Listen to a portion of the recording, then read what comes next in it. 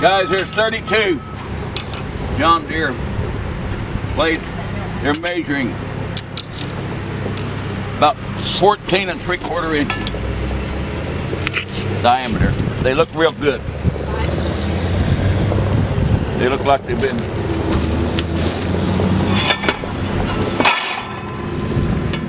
nice set of blades there.